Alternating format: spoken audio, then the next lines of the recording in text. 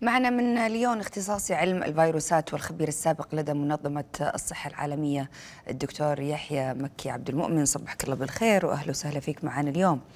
يعني إذا المرافق الصحية إذا المستشفيات إذا الأماكن المفروض أنها تكون أنظف شيء وإحنا دائما عندنا يمكن ثقة لما ندخل مستشفى نحس إنه دائما في رائحة التعقيم ونشعر إنه كل شيء المفروض يكون معقم. إذا هذه الأماكن مش معقمة يعني مصيبة. مسؤولية مين هذه؟ صباح الخير سيدة مها وتحياتي لكل مشاهدي الكرام لشاشة الكريمة أشكركم أولا على التقرير الجيد الذي يلخص كل ما سيكون حوارنا. هو أنه نعم الذي يجري اليوم في العالم وتقرير المنظمة العامة للصحة هو أنه عدم وجود قوانين صارمة لتسيير المستشفيات لتسيير قاعة العمليات الجراحية العناية المركزة المصالح الطبية. فهنا في قانون أوروبي مثلا في أوروبا في قانون أوروبي لتسيير المستشفيات من ناحية حماية المستشفيات من العدوى. وكما نعلم نحن بأنه عدد كبير من ال ال ال الإصابات تقع للمريض وهو في المستشفى يعني يأتي صح. بسبب مرض. صح. وعندما تقوم بعملية جراحية فيصاب بعدوى بالبكتيريا أو الجراثيم أو طفيليات أو أو.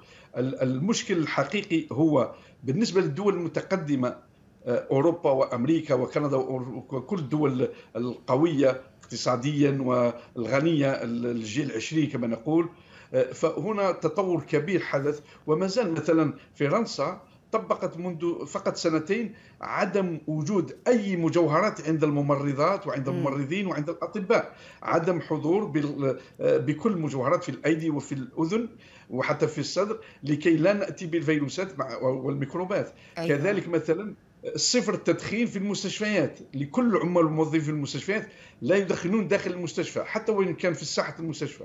فمثلا وأشكركم على التقرير القيم. الماء الذي يستعمل حتى إن وجد الماء في المستشفيات الماء نحن في المخبر الذي أنا موجود فيه المستشفى كل يوم نحقق من وجود هل في وجود بكتيريا في الماء الذي يصل إلى كل المرضى في القاعات وفي غرف النوم للمريض؟ نعير ونحلل كل دواء خاصة القاعات العمليات الجراحية. بينما الدول الإفريقية أو جنوب آسيا أو أمريكا اللاتينية نظرا للضعف المادي والأموال ونظرا كذلك للنمط المعيشي عندما يمرض مريض في إفريقيا أو في آسيا الجنوبية أو أمريكا اللاتينية فتقريبا تهب كل العائلة إن لم يكن كل العرش 20 شخص يزورونه يوميا أو 30 شخص فكل من يأتي يأتي بجراثيمه ولا يعقم يديه ولا ولا يعني يقوم بحفاظات على الأحذية فهنا كل ميكروبات الخارج تأتي إلى المستشفى.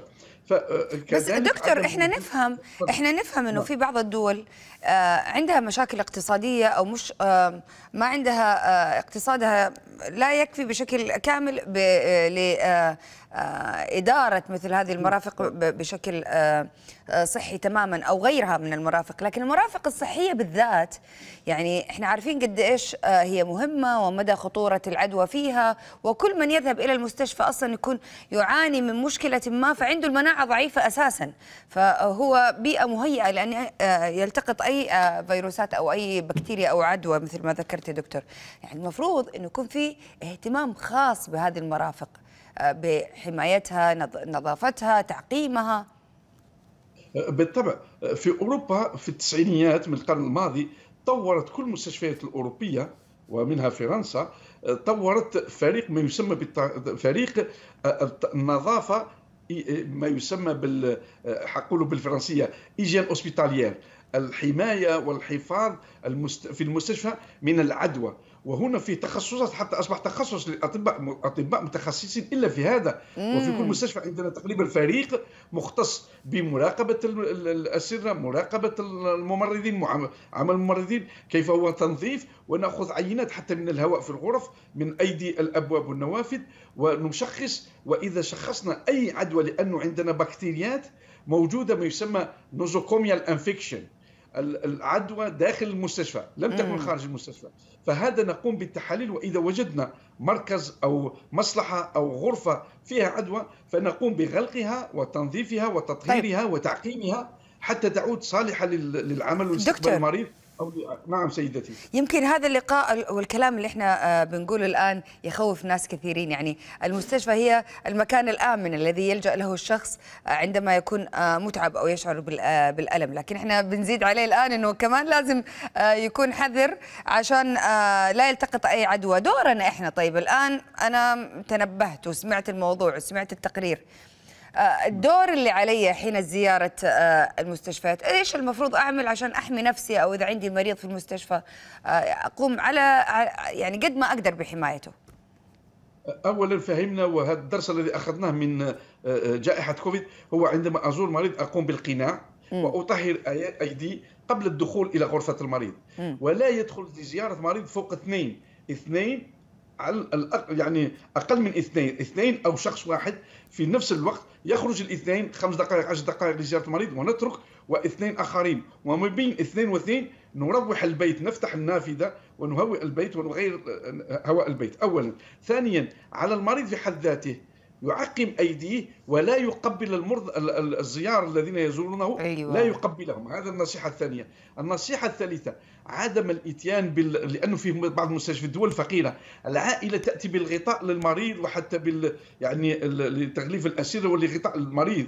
فهنا على الأقل تطهير هذه ال... ال... ال... الأدوات التي نريد أن يعني نحمي بها المريض.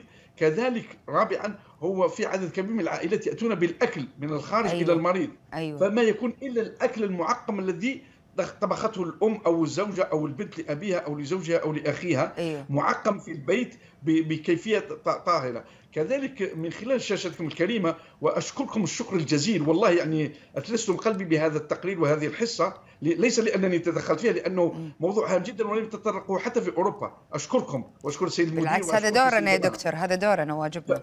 فلا نخوف المريض بل بالعكس نصحح أخطاء ربما ممرضين أخطاء ممرضات أخطاء الأطباء وما نقوم به هو توعية المشاهد الكريم بأنه الدول الخليجية غنية جدا ما شاء الله والمستشفيات ذو مستوى رفيع. عليهم بتطبيق تعقيم الأدوات وكذلك مسؤولية لأنه فيه ممرضين مختصين في تعقيم أدوات الجراحة كل أدوات الجراحة فهنا مسؤوليتهم سيدي الكريمة أن يصححوا وأن يطهروا الادوات وفيه وسائل لتعريف كيف نعقم أيوة. ونحن دورنا كأطباء وأنا أقوم به تقريبا كل شهرين أزور دول فقيرة ونطور هذه المفهوم تطهير وتعقيم أدوات صحيح. العملية الجراحية والمستشفيات. والاهتمام فعلا.